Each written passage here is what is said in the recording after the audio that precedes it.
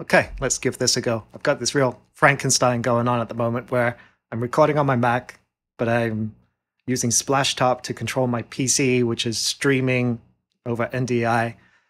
Yeah, it's a it is a real Frankenstein monster here. So let's see how things go. So when you first start the application, you have a prompt to create a new database. So just give it a name, um, whatever, and then a choice of what database template you want. So apart from the regular fields like file name, path name, duration, channels, and a few others, it's what optional fields you want to display. So dialogue would have things like scene, take, tape. Um, music would have composer, publisher. Sound effects would have designer, effects name. Uh, for this purpose, I'm going to use music and effects. So now I've got a blank database. I need to get some sounds in. So I just find my folder of sounds, drag it on. And now it's going to use as many cores as possible to just kind of plow through all of these files. Uh, this is kind of a bad example because each directory only has a few sound files in, so it can't process as fast as it possibly can. So I'm just going to cancel out of this and swap to another database. I'm going to hide that for now. So you got your uh, file name, description, duration, library. You can rearrange these just by clicking and dragging. You can resize them. There we go. You can call up the preferences to adjust the row height. So I'm just clicking and dragging, or I could use my mouse wheel. And that kind of goes for a lot of the controls inside SoundMiner. If you just use your rollover and use the mouse wheel, you can get finer detail. Um, the font height, and you can change the default font as well. That's important for countries in Asia who want to display kanji or hiragana you need to choose a font that's uh, Unicode friendly that has all of those characters. Otherwise, you're just going to get a whole bunch of like square rectangles anytime a invalid uh, character comes up. So that's that. You can also toggle the row height here, back and forth. That's useful when you've got something like artwork. You want to view that bigger. There we go. This doesn't have too many, too much artwork in except for the cartoon library that's got tons. But some of these earlier ones don't. So toggle the row height back, call up my waveform, get rid of that artwork. There we go. So playback. So you can double click on a sound and it'll start playback. You can hit spacebar to start and stop. You can use your left and right arrow keys to kind of skip through the sound file. You can also click anywhere on the mini waveform to start playback at that, that point. Now, some people like it as soon as you select a record, or if you're using the arrow keys, that it starts playback right away. And you can do that from here, which is autoplay.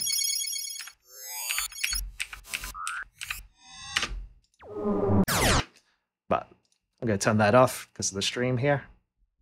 Um, there's also an option to skip silence. I don't know. Let's just browse through here, see if we've got any with lots of bits of silence in them.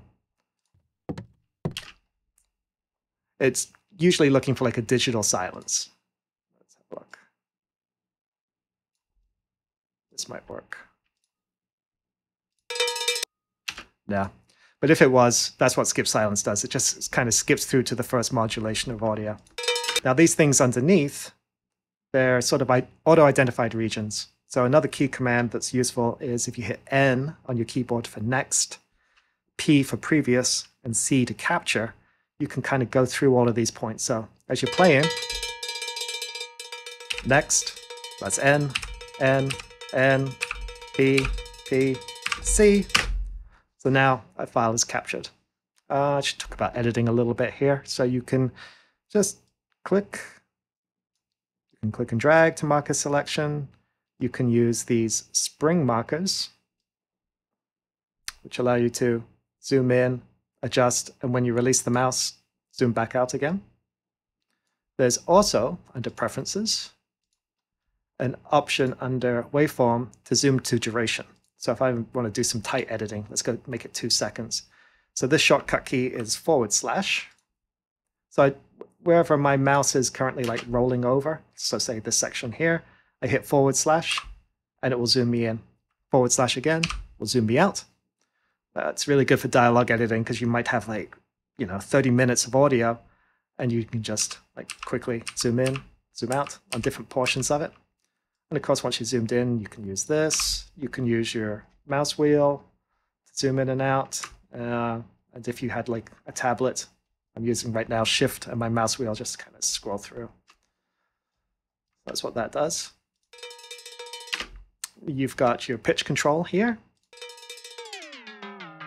And it will transfer with that pitch. But anyway, we'll talk about some screen sets a bit more here. So let's say I like how this one is all looking. I can store it as a screen set. So under layout, I store it as number one. And then I'll choose another one without the waveform and get the row height smaller, adjust this file name a little bit. There we go. And then I'll store this in layout number two. And you can rename these layouts too. So rename to whatever. So now it shows up as no waveform. This one has the waveform. And you can recall them here on this screen set as well. So number two, number one. And you can store them if you hold the Alt key down and click, it will store it into that, uh, that, that screen set preset. Multiple databases, so they all show up here. And the order of them you can set up under Preferences, Database Order. So right now, this will always be Control 1. If I want just in test to be Control 2, I can set it up. So everything above this line will just incrementally, incrementally be number 1, number 2, and then everything below it will just be in alphabetical order. So that just allows you to Control 2, swap to just in test, Control 1, test DB, back and forth, back and forth. So that's that. The left panel here allows you to browse say, category for everything inside this database. Uh, you can see there's an, quite, a, quite a few. So I just bring back like Foley by clicking on it. There's food. You can see only got one item in food. Hard effects. And if I clear this out and do the same thing for path name, I can go to say sound bits handwriting. And now when I open up category, you can see it's only one category, which is Foley. So I click on that. And up here, I've got the two pills. So it's telling me that I clicked on Foley and I chose sound bits handwriting. And I can remove any one of these. So if I decide, oh, I want to see what all my Foley is across my entire library, I just remove this. And there it all is. There's all my Foley items. Um, let's say I find one at random here.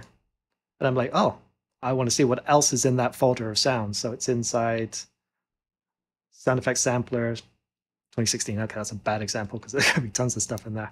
So I'll go to the cartoon. Here we go. Okay, so this path name is Luke Sounds. So I could click on same folder and that will show me everything that's inside that one particular folder. Or I can roll down here and click on Luke. And there's 40 sounds inside this one folder. Or I can move up another level and see everything that's inside 10 of 24 that's 96. Or I can see everything that's inside the Slack library, which is 1,692 sound files. Um, yeah, so that's that's what the linked searches do. And they, they all sort of chain together as well. So if I do a search for whistle, it will filter my left panel. So I've got a term for whistle and, oh, protests. Well, this is going to be somebody whistling as opposed to a cartoon whistle. Uh, that works great, this live filtering, if your database is relatively small. Excuse me. um, so go to whistle again. Actually, not whistle. So it's live filtering. But if your database is big, sometimes that can really slow things down. So under preferences, you can choose whether the left panel filters when typing. So if I turn that off now, bring everything back, clear all these terms. There we go. So it's not until I actually do a search that the left panel will filter. That's a good little tip to know.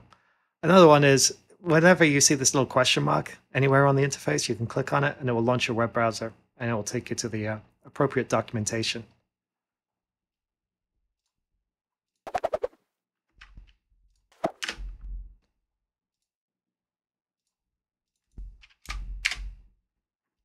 Okay, so on the right hand side is the metadata side panel. So for every sound file, that's showing me um, all the metadata that's associated with that sound.